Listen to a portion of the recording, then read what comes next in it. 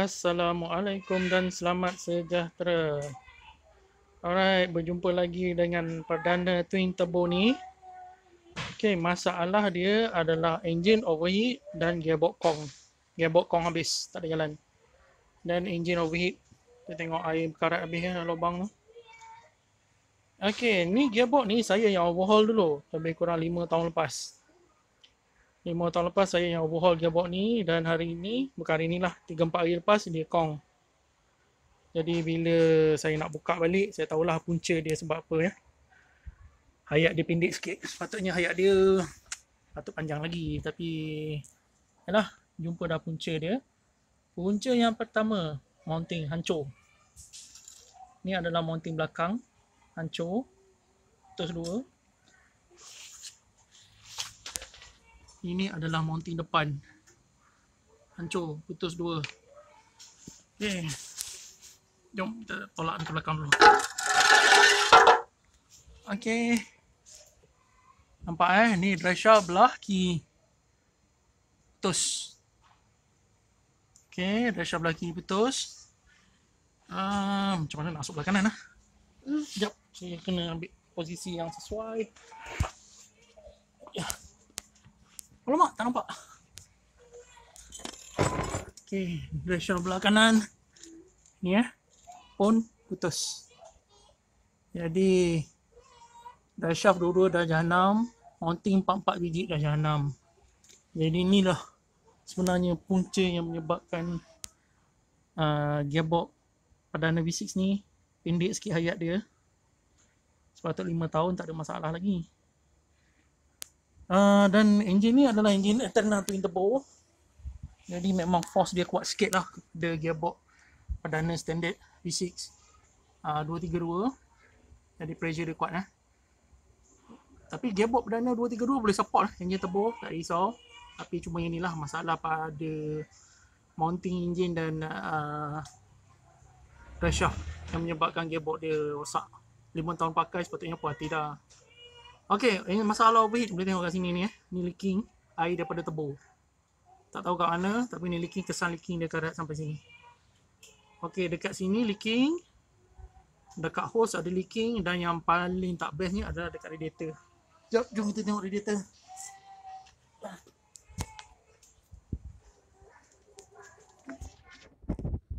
Okey, kalau kita tengok dekat radiator. Ni ah, ni radiator alloy yang mahal ni beli ni, radiator brand mahal ni uh, ini. Kalau kita tengok lubang-lubang tu. Lubang-lubang tu kesan hakisan. Okay, ini saya dah cuci asal datang memang penuh dengan karat. Kesan hakisan. Tengok ni yang lubang kat sini pun ada hakisan.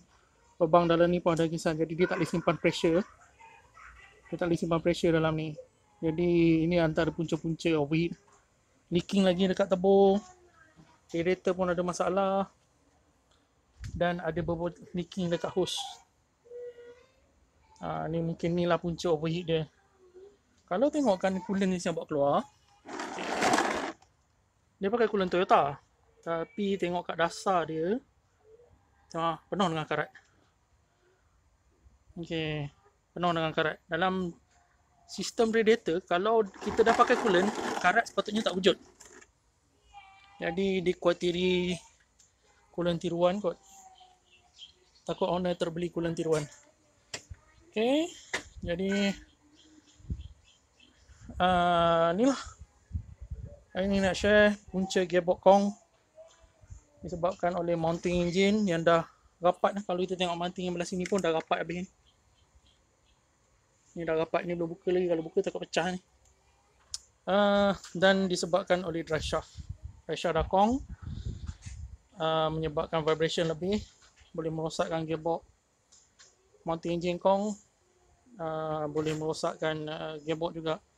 Dan biasanya big gearbox ni bila rosak disebabkan oleh vibration? Okay. yang tak bestnya cost baiki dia lebih banyak. Sebab dia ada thrust bearing yang kena ganti kick down drum kena ganti. Uh, cost dia lagi banyak cost dia lagi banyak Okey, jom kita tengok minyak dia dulu, minyak dia dulu. Jom kita tengok minyak dia dulu. Last, last. Alright. Saya tak suka ni tangan kotor-kotor ni. Susah jadi nak jadi pomen tapi tak suka kotor memang susah sikit lah alright ok jom kita tengok minyak dia ni saya dah longgar saya dah buang dah tadi sikit ok jom kita tengok kita tengok kamera ni susah lah pegang sebelah tangan habis kotor alright tak apalah kali ni je lah berminyak penuh kat telefon ni. Tu dia hitam legam minyak. Katanya pakai treatment. Sebelum pakai treatment uh, gearbox hanya je, je gear 4 tak nak masuk reverse macam sengguk-sengguk bila bubuh uh, gearbox treatment terus gearbox tak ada jalan. Tu berhenti minyak hitam legam jadi bau. Ah busuknya bau busuk tu. Okay, tadi saya dah tunjuk dry shaft dia koyak rabak dia punya getah tu. Jadi sudah memang kering habis dalam tu sampai rosak dah dry shaft. Punca dia dry shaft ni bukan perdana punya. Dry shaft yang dia pakai ni bukan dry shaft perdana. Ni dry shaft daripada body lancer ni. Sebab tengok macam dry shaft cut ok tengok eh. Tu ha. Ini dry shaft masuk habis. Ni dry shaft keluar habis. Nampak tak berapa banyak tu dia masuk dry shaft ni pendek dry shaft ni terlampau pendek ha masuk ke dalam. Okey. Ini dresser daripada body lancer. Body lancer dia, dia tak lebar macam body perdana. Jadi dresser dia pendek. Ha, ni yang terkena ni, ni terkena. Ini yang baru belah kanan, belah kiri belum buka lagi. Okey, jadi lain kali kalau nak beli dry shaft tu ukur dulu dry shaft tu sama panjang atau sama panjang ataupun lebih pendek. Kalau pendek biasanya dry shaft tu sama ada Taiwan punya, dia buat universal boleh masuk semua body kereta atau yang tak berkualiti lah ataupun yang Lancer punya, Lancer ataupun Wira punya. Body Wira dia tak selebar body perdana tu kenapa dry shaft dia pendek sikit. Ha, tu banyak tu. Kalau masuk dia. Okey, bahagian kiri dry shaft. Ah, ha, ini yang sepatutnya. Tengok. Ni masuk habis ni keluar habis ha, ni dry shaft perdana. Yang dipasang pada kereta perdana. Bukan tadi masuk tenggelam sampai ke dalam. Tu tu memang dry shaft lancer lah atau wira punya. Ha, ni. Ni masuk habis ni keluar habis ha, kat situ je. Tu je. Lebih kurang dalam 1 cm tadi tenggelam habis alright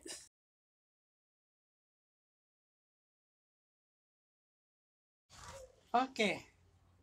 Ni adalah gearbox uh, daripada Perdana V6 yang saya tunjukkan video sebentar tadi yang sebelum ni.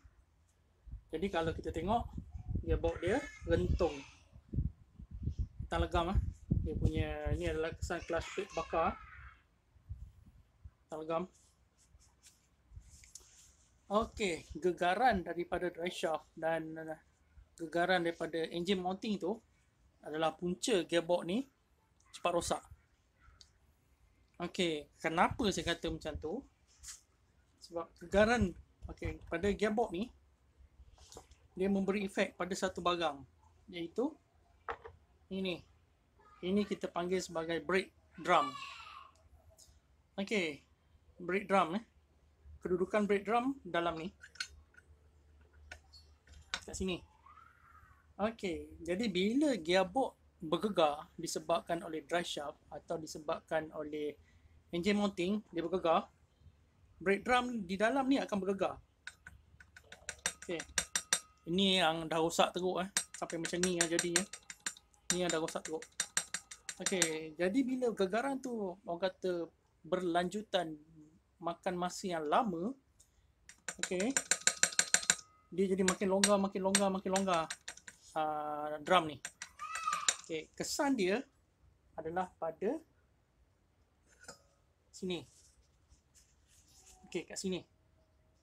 Kita tengok makan eh, kesan makan ni. Kat sini ni, kesan makan di house kat sini. Okey, tempat dia bergesek atau tempat pegang dia dengan bearing di dalam center hub. Di dalam center hub ni akan ada bearing dan dekat sini tempat yang bearing tu bersentuh. Jadi bila bergegar untuk jaga masa lama, sini akan makan. Kat sini akan makan teruk. Kalau kita pegang ni dah rosak ni, dah makan teruk kat sini. Ha, jadi drum ni dah rosak. Sekejap saya ambilkan contoh bearing dia.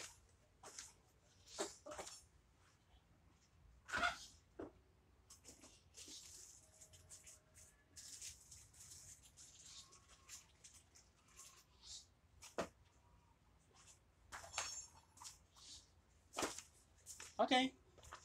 Ini bearing dia. Kita panggil jenis bearing ya. Duduk kat sini.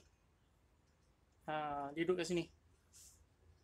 Kalau kita tengok tempat yang ada house tu memang longgar. Ni ha. Kalau duduk tempat yang belum house dia ketat macam ni. Tengok tak goyang. Kat sini dah longgar. Sebab dia ada house. Ujung ha, dia ketat. Okay, jadi bearing ni yang duduk dalam center hub ni perlu diganti sebab bearing ni pun dah haus. Dan drum ni pun perlu diganti sebab drum ni dah makan kat sini. Okay, sebab sebab je drum ni berat. Okay, drum ni berat dan tempat nak pegang drum ni hanyalah pada sini saja, pada bearing saja. Okay, jadi pemegang ni kat sini je. So bila dia bergoncang, okay, memang beban dia ekstra lah pada bearing. Okay, bila bergegar sikit-sikit sikit-sikit untuk, untuk jangka masa panjang, sini akan makan. Okay, jadi bila hub ataupun drum ni dah makan, bearing ni pun dah makan, dia jadi terlalu longgar, drum ni tak akan duduk diam. So, drum ni akan bergoncang. Oleh sebab itu, kalau kita tengok kat sini ada dua kesan ni. Ni kesan brake band. Mana brake band? Saya ambil brake band. Okay. Ini adalah brake band. Okay, kalau kita tengok, terbakar. Brake band ni terbakar. Okay, brake band mahal ni. Terbakar dah. Jadi, brake band ni akan bergesek dengan brake drum. Dia akan bergesek, bergesek, bergesek, bergesek, bergesek untuk jangka masa yang panjang. Nak kata panjang sangat tu dah lah. Setengah tahun ke macam tu lah lebih kurang. Dia akan jadi terbakar macam ni. Ni ha hangus. Okey, ini kena jaga sangat-sangat sebab drum ni agak susah nak dapat sekarang sebab benda dah semakin absolute. Dah semakin susah nak jumpa. Okey, yang kedua kesan daripada uh, longgarnya bearing ni. Bearing ni longgar. Kesan yang kedua adalah drum ni akan jatuh. Daripada duduk macam ni, dia akan jatuh macam ni dia akan jadi sengit dia akan jatuh sebab dia longgar tempat pegang ni dia longgar dia jatuh jadi bila dia jatuh dia akan bergesek dekat sini. Ha, dia akan bergesek dekat sini. Ni ha cala bala ni. Kalau nampak dalam video lah. Ni ha cala bala sini. Ni cala. Sebab dia dah jatuh. Okay, dia bergesek dengan center support dalam ni. Ha ni pun cala bala. Okay, bila dia bergesek, ha, ni masalah dia. Bila dia bergesek, dia akan menghasilkan habuk besi yang banyak. Okey, habuk besi yang banyak ni lah yang akan turun ke oil sump, lekat pada magnet, akan terlepas daripada magnet, pergi ke oil filter, menyebabkan oil filter sumbat, kadang-kadang boleh menyebabkan oil filter koyak dan akan masuk ke dalam sistem gearbox. Masuk ke buah body, masuk ke oil pump, masuk ke clutch plate semua. Dan last kali, oil filter betul-betul 100% tersumbat, clock, gearbox tak boleh jalan gearbox betul-betul berhenti clutch plate dah start terbakar ha, jadi hitam macam ni lah. Ni clutch plate terbakar. Busuk bawang minyak dia. Memang busuk yang amat. Jadi gearbox perlu di full overhaul dan digantikan part-part yang tak sepatutnya rosak lah macam ni. Ni sepatutnya tak rosak ni. Jadi bila dia rosak nak dapatkan alat ganti dia sangat susah. Ha, ni sangat susah nak dapat alat ganti ni ni. Jadi saya kena pergi perlu pergi menjajah ni nak cari benda ni. Harga dia pun boleh tahan mahal. So barang ni sepatutnya jarang rosak. Tapi bila dah rosak ha susahlah sikit nak mencari dia. Jadi cost overhaul gearbox ni akan jadi lebih mahal. Okay. Jadi untuk mengelakkan kerosakan drum, brake drum ni, drive shaft kenalah sentiasa dalam keadaan baik. Engine mounting kenalah sentiasa dalam keadaan baik. Kalau tak sayang, gearbox ni baru pakai dalam 4-5 tahun dah jahanam. Eh, hey, sepatut boleh lagi lama lah. Kalau jaga, kalau drive shaft dia tak rosak, kalau mounting engine dia tak rosak, gearbox ni sepatutnya boleh pakai lagi lama. Alright. ini adalah center support saya cerita tadi. Okay, ini adalah center support untuk reverse punya piston. Jadi boleh tengok kat sini eh. Nampak tak dalam video? Okay, nampak. Ini adalah kesan gesek antara drum ni dengan ni. Dia duduk kat sini. Drum duduk kat sini. Dia duduk kat sini. Jadi sekarang kita boleh tengok dia longgar. Hmm. Okay, bearing dalam ni dah hancur. Bearing dalam ni ni. Dah hancur habis dah. Jadi bearing ni pun nak kena ganti. Okay. 6621. Hmm. Okay. Dan ni adalah planetary gear yang duduk bahagian dalam. Hangus selentung jadi hitam legam. Ini hitam daripada kesan daripada minyak yang hangus. Ini nak kena basuh betul-betul ni.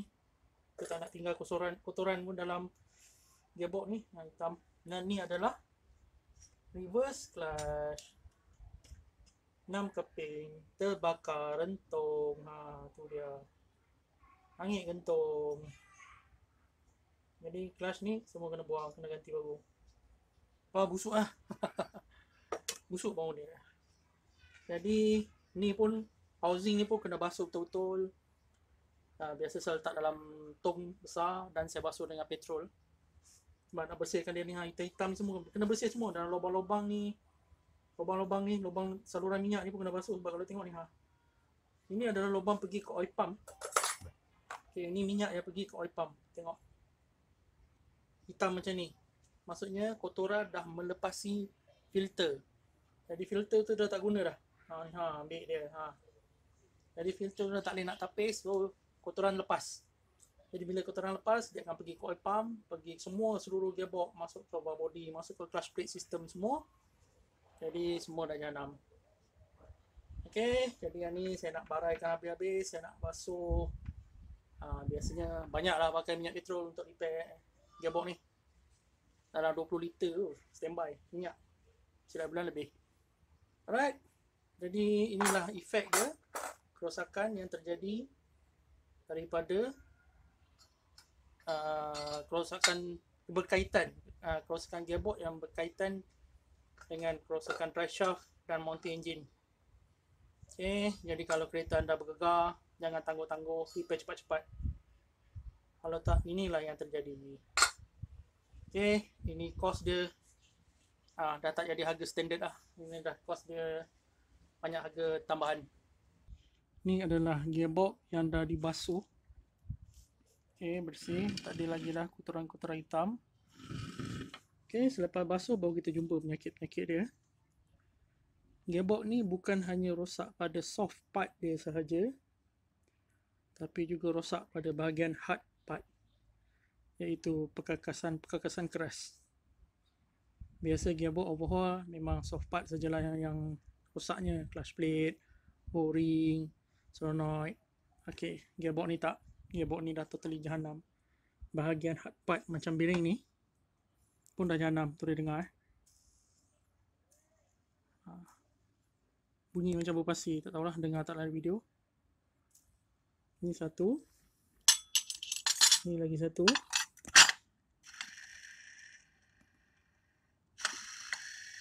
Okay. Kita dah baring okey. Dah kena tegak dia berbunyi. Ha.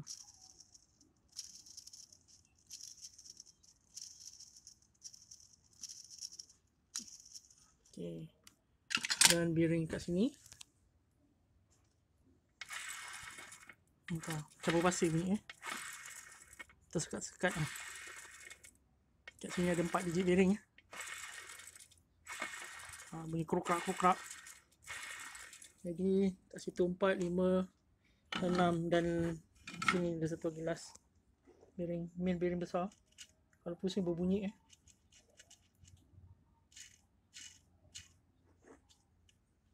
bearing-bearing ni rosak lekat lekat bearing-bearing ni rosak disebabkan oleh habuk besi yang hancur dan bercampur dengan minyak dan datang ke sini so bila habuk besi masuk celah-celah ball bearing ni ball bearing ni jadi cala rosak Ha, okay, berbunyi.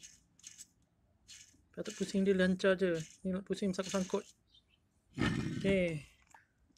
Jarang kena kes yang perlu ganti bearing. Jarang sangat. Kalau kena kes yang kena ganti bearing ni, cost dia untuk bearing saja pun dah dekat RM1,000. RM1,000 untuk bearing sahaja. Bearing dia ada banyak belah biji eh. Sini ada 1, 2, 3, 4, 5, 6, 7, 8. Ha, di planetary gear ada 2. 10. 10 ball bearing. Ball bearing saja belum masuk thrust bearing. Ha, ni adalah thrust bearing. Bunyi kasar. Tapi masalah paling besar, ni dah tak ada jual. Dah absolute. Benda ni dah tak wujud dah. Jadi yang ni nak tak nak, yang belum pecah, kena pakai balik. Memang benda ni dah tak ada jual lah. Tak ada nak ganti baru dah. Ini tak ada jual. Keseluruhan thrust bearing dia ada Trust bearing ada berapa? 1, 2, 3, 4, 5, 6, 7 Rasa dekat 10 biji juga lah ha, Yang tu tak boleh buat apa Itu memang tak wujud lah spare part Ball bearing saja yang boleh diganti ha, Ada 10-11 biji Dan harga sebiji dia lebih kurang RM60 Kecuali yang kecil ni lah Kecil ni harga RM30 RM35 Yang lain semua RM60 ke atas Ada yang RM80 sebiji saya lupa mana satu jadi untuk bearing sahaja kos dia dah cecah. Standby lah dengan press dengan pump dekat RM1,000. Bearing sahaja. Ha, boleh dengar bunyi tu. Kalau nak pakai boleh. Tapi kalau bunyi berdengung jangan tanya lah pula kenapa sebab bunyi berdengung ni. Okay, jadi kos overhaul gearbox ni akan melambung tinggi.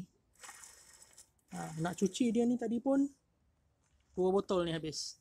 Sebotol ni 10 liter, 20 liter, RM40 untuk mencuci ni sahaja. Ha, dah habis abu hitam semua ada. Dan sekarang salah dia bearing. Termenung warna ni termenung. Alright, saya nak okey, lepas basuh dengan petrol, cepat-cepat bilas dengan minyak auto. Jadi kena korbankan satu botol minyak auto. Okey, korbankan satu botol sebab untuk bilas. Kalau kita tinggalkan macam ni tak lama, petang nanti berkarat ni. Okey. Yang berwarna kuning ni, ha, yang ini satu misteri baru.